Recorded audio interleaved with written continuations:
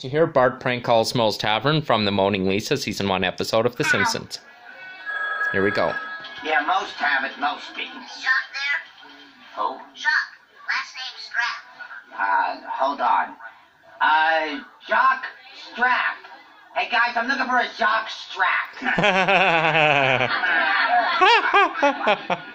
oh, wait a minute. Jock Strap. It's you, isn't it, you cowardly little runt?